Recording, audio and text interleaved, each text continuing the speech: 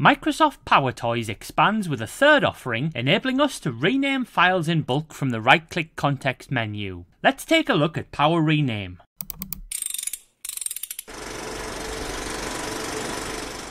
Hello everyone and welcome to TechFixFlix. In this tutorial, we tour the functions of Power Rename, the third utility from the Microsoft PowerToys Renaissance. As we've covered installation of the PowerToys suite in an earlier tutorial, linked in the written description accompanying this video, we'll simply remind you of the download link shown on screen now, and again reproduced in the description. We therefore begin with PowerToys running, providing access not only to Power Rename, but also to the two utilities featured in the first chapter of this series. Power Rename has a stealthy footprint in the operating system and is only invoked from the right-click context menu. In this instance, we have 10 similarly named sample document files, which we select before right-clicking, then selecting the new entry for Power Rename, which has been added to the context menu. Clicking that entry takes us to the Power Rename main interface. Our 10 files are shown in the lower pane, with the original names to the left and the right column offering a preview of their renamed equivalents. This field is initially blank, awaiting entry of our criteria in the search and replace fields at the top of the dialog box. We will now review each of the main functions in sequence. We enter the word test in the search field. This identifies every instance of the word test in the file names. Note that this initially causes the word test to entirely disappear from the renamed field because we haven't identified a replacement for it, with the replacement field currently blank.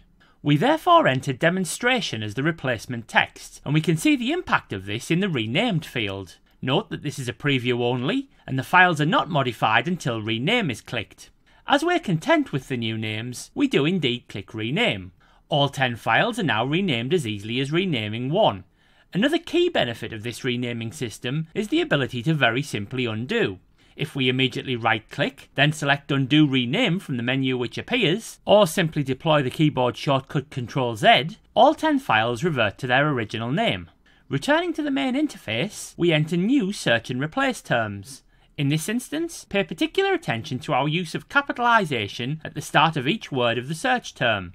Initially, this poses no issue to the renaming process. However, there's an impact when selecting case sensitive, the criteria is no longer met as the case is no longer a match. Consequently, no files will be replaced. If we then amend the case of our search term, we now have a match even with case sensitivity enabled. We click rename and our 10 files are now capitalized.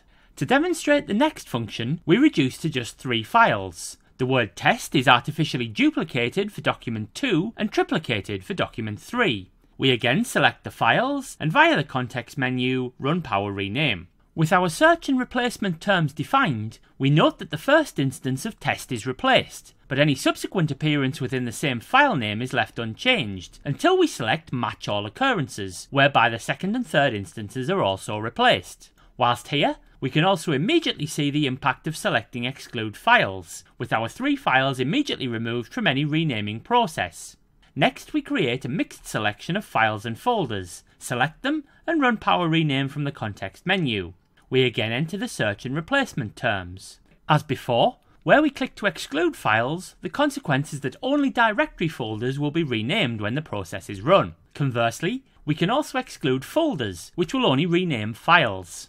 We can also manually exclude, and here we exclude text file 1, which would otherwise meet the replacement criteria. We now select our three files, right click, and select the option to cut before selecting a text folder, right clicking and selecting the option to paste. With that, our files are now contained within the folder. Once again, we select all and re-enter Power Rename. In the main interface, we can see the files which we have relocated within the folder.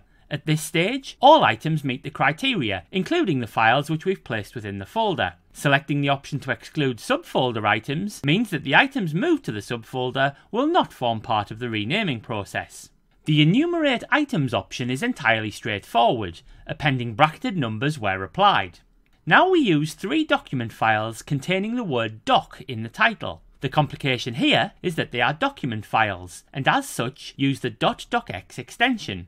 We therefore repeat the word doc in both the file name and its extension. So when we enter Power Rename and search for doc, unsurprisingly, we find it in two locations within the same file. Selecting item name only allows only the file name to be included in the renaming process. whilst selecting item extension only is potentially dangerous, as amending the extension could leave the file unreadable. This function should only be used if you're fully aware of the potential consequences. Possibly the most significant renaming power is provided by the use of regular expressions. Although beyond the scope of this tutorial, regular expressions provide highly configurable definitions of search environments, adding a great deal of power to search and replace. The briefest of summaries is provided in the Power Rename descriptive text, as well as links to a cheat sheet and tutorial, which we've reposted in our written description. Also included is a link to our favourite site for both learning and practicing regular expressions.